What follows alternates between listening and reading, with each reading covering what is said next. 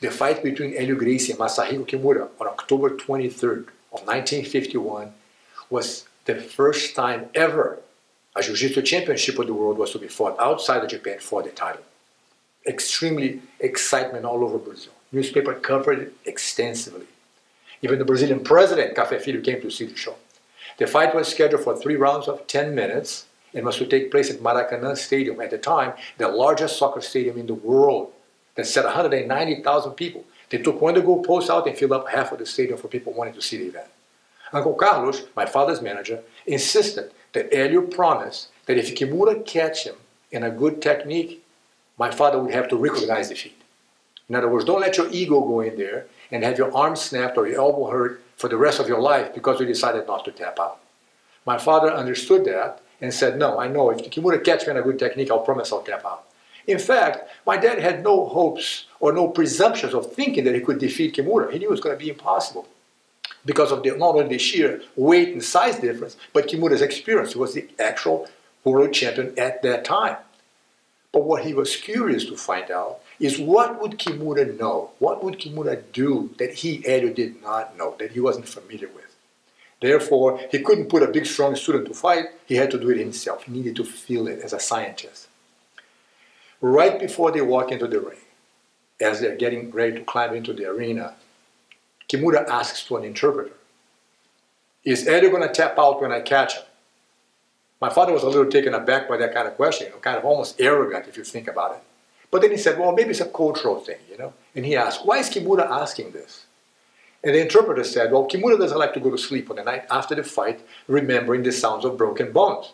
So if you're the kind of person who's not going to tap out, he'll just snap it. You know, he was being very matter-of-factory about this whole thing. He was being very casual. It's like, how do you want it? Well done, medium, or rare? In a sense, he was just being fair, being reasonable on that. My father said, no, if you catch me on a good technique, I'll tap out. Anyways, they climbed in the ring. And my dad knew that Kimura had a very specific throw called Uchi Mata that usually eliminated his opponents on the very first takedown. So Kimura would throw the guy down and landed with his shoulder on his chest, knocking the wind out of him primarily and basically finishing the fight right there, especially because of the huge weight difference. So what my dad did is as soon as Kimura got ready for the takedown, he made himself limp, offering absolutely no resistance and the resistance. And that threw the champion off balance a little bit. And by losing his balance, he just kind of fell on the ground without having the chance to use the, the lethal throw. On that note, they fell on the ground and Kimura just played with my father like a cat playing with a mouse. Just literally overwhelming, doing everything he wanted, just doing everything he, just playing with him. Except he couldn't submit Gracie. He was slipping away like a little mouse, just getting away with everything. During that process, interestingly enough, there was a time that Kimura landed next to my dad, held him on a headlock, and he started squeezing his neck uh, very tight. So tight that suddenly Kimura let go. And he asked, are you okay? Perguntou my father, are you good? And my dad went like this. Felt blood coming out of his ear due to the pressure on his chest. But there was nothing broke. He said, yeah, oh, we got him again. just immediately, you know, taking control of the situation again. In other words, he was a good guy. Kimura wasn't a bad guy. He was just being a good sport. Eventually, the fight went on. And Kimura landed on this position right here with the legs across my father's chest, like a bandolero belt. And the feet crossed, and he's squeezing very tight. And he's squeezing so tight, my dad couldn't inhale. He couldn't fill up his lungs to get air and breathe at that moment. The pressure was such that he was starting to feeling he couldn't get air. So he remembered the promise he made to Uncle Carlos that if Kimura catches you in a good technique, I want you to tap out. So my father now is debating, knowing full well that it wasn't a technical move, it was just a sheer strength pressure move. If the legs were across my father's neck, it would be a technical choke. But because the legs were across the chest, it was just a, a squeeze.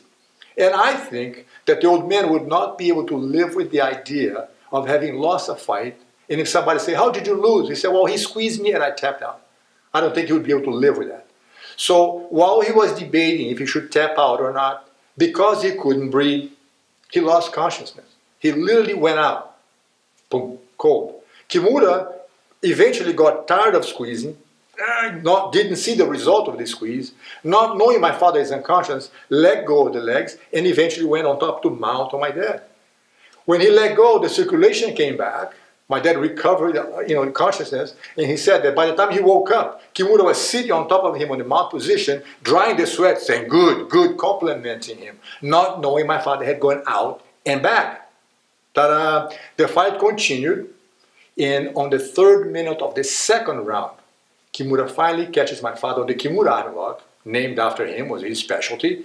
And at that point, adrenaline, of course, kicked in. My father couldn't feel pain anymore. The arm was stretched so badly that this hand, he said he was seeing this hand over here.